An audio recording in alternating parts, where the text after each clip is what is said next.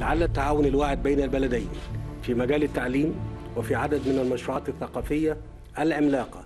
يعد أحد أهم مجالات التعاون التي سوف تمثل نقلة نوعية في مستوى التعاون بين البلدين.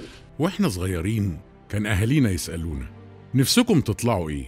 وكنا نقول ظابط مهندس دكتور نسافر ونبقى خريجين جامعات أجنبية.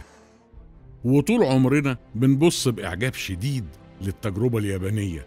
البلد اللي نهضت من وسط الرماد علشان تبني حضارة تبقى مضرب المثل بلد الحلم اللي أصبح حقيقة.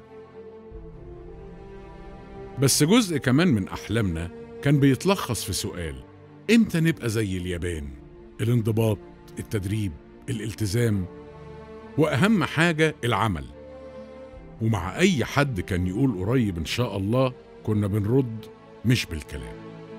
دلوقتي التجربة اليابانية في التعليم بقت في مصر بنفس الجودة وبإرادة وبإدارة مصرية وبشراكة حقيقية بين حضارتين الإنسانية تشهد لهم بالعظمة.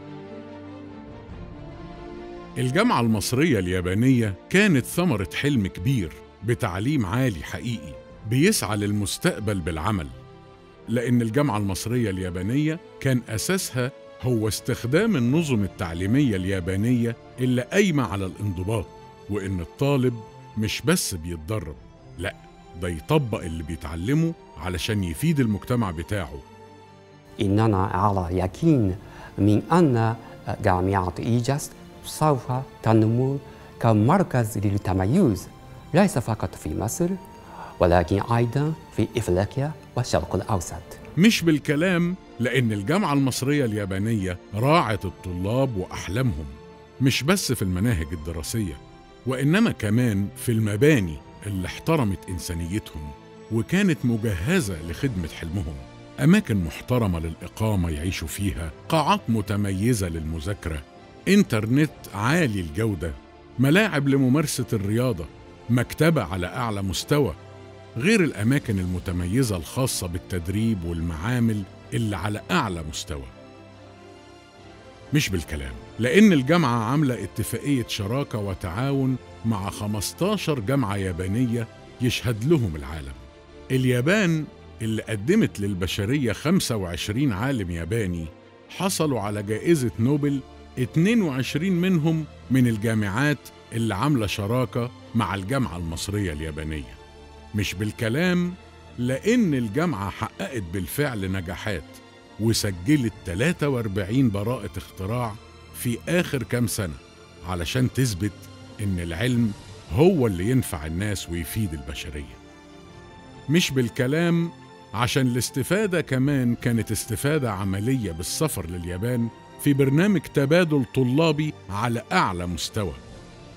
في ربط حقيقي بين الدراسة وسوق العمل. الجامعة المصرية اليابانية فعلا بقى ليها إسهام حقيقي في مصر بيأكد على دورها وعلى مسؤوليتها.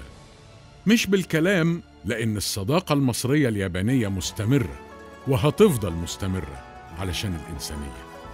حاجات كتير ممكن محدش يصدق إنها هتحصل لكن الحمد لله حصلت. وحاجات أكتر هندعي ربنا نقدر نعملها يقدرنا عليها وإن شاء الله هنحققها. بس مش بالكلام. مش بالكلام لا بالعمل. نوصل أوام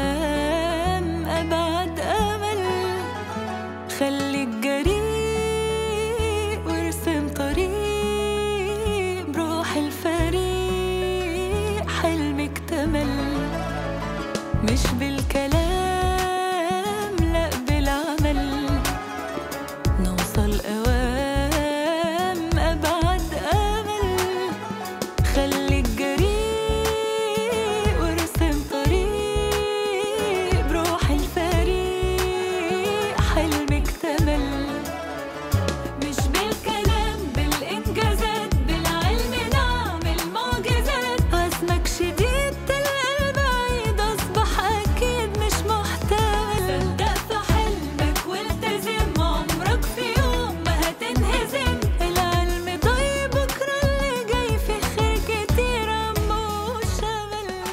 الجامعة قدرت توفر لي سفر لليابان وده ساعدني إن أنا أتعرف أكتر على الثقافة اليابانية. لما سافرت هناك اتعرفت على نظام التعليم الياباني لقيت إن هو قريب من نظام التعليم الجامعة المصرية اليابانية خصوصا في المناهج العلمية وفي التجارب المعملية. دراستي ال electronics and communication في الجامعة المصرية اليابانية ساعدتني بجانب ال labs وال technology اللي بتوفرها الجامعة إن يكون من ضمن ال team اللي بيمثل مصر في واحدة من أكبر المسابقات اللي بتنظمها وكالة ناسا. الجامعة بتقدر توازن ما بين المحتوى الأكاديمي وكمان متطلبات سوق العمل. كمان الجامعة بتقدم منح دراسية للناس المتفوقة رياضيا. وأنا معايا job offer عشان أشتغل في تويوتا موتورز بعد التخرج من E-JUST هتلاقي حل والمستحيل